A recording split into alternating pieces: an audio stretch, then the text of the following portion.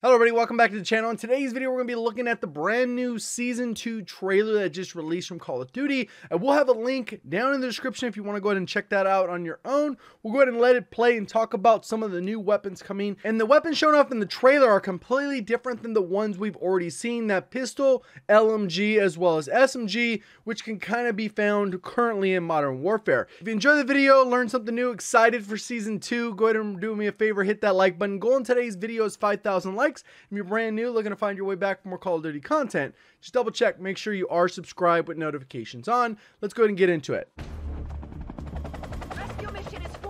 So obviously the trailer is a Cold War engine, but obviously the weapons that are going to come out of this will automatically be applied over. We got new operators as well as we go through here. And it continues the Cold War dialogue of the lore type stuff as well. I wonder if we'll get a new map, though, because this location does not look familiar.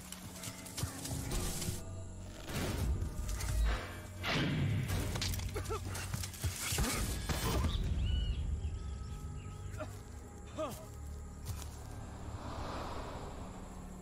wonder if that's going to be a weapon, too, a machete? I don't think we have a machete currently.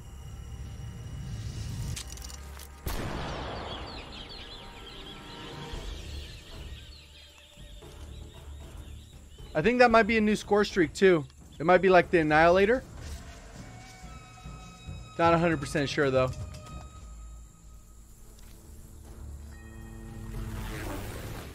Stitch, the rats are here. Atlas secure and headed to you in Verdansk. Good.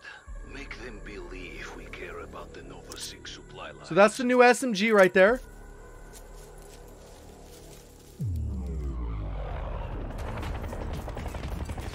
Here's the crossbow. I have you visual. LZ attack. Light them up. God damn, Rob. It's go time. Get on the go. Don't get killed. So there's the Galil and the minigun.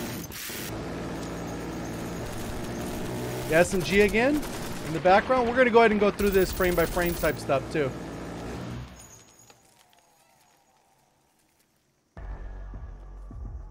Camp's a few clicks east. They knew we were coming. Fuck. Can't abort or Adler's as good as dead. He's one tough son of a bitch, but everyone's got a breaking point. Time's wasted, kids. Let's move. So season two content update, that's February 25th. Let's go ahead and go back a little bit further. So here's pretty much the first look that we have at the new SMG. We'll kind of have to wait and see. They don't give us a lot of details in this because this isn't really a gameplay trailer. It's more of a cinematic trailer. But we know that we're going to be getting a new SMG. So that might be two SMGs for season two.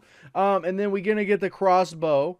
Which I really wonder how this crossbow is going to behave differently than the current crossbow we have with the explosive rounds, gas nade, whatever effect that it has, the thermite stuff. So or or just the regular one. So we'll see kind of if this one is a huge difference or it's kind of like the RPG. It's so negligible you wouldn't even notice unless you did some serious testing. Um, and if whether or not that'll actually be usable, how strong it is, those types of things.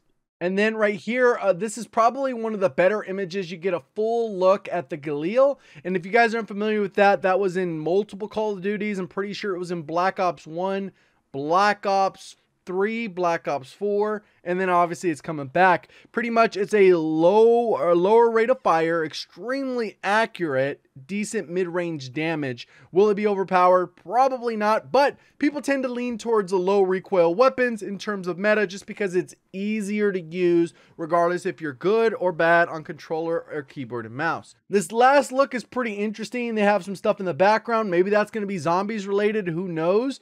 Um, but this does not look like Warzone at all. It doesn't doesn't even really look like Cold War, in my opinion. So I don't really know what they're doing with this overall theme. So this could be pretty interesting. Let me know your guys' thoughts down in the comment section. So pretty straightforward, quick one today. If you enjoyed the video, learned something new, please do me a favor, hit that like button. If you're brand new, want to find your way back, double check, make sure you subscribe with notifications on. Appreciate all the support on the channel. Thank you for watching. As always, have a great day.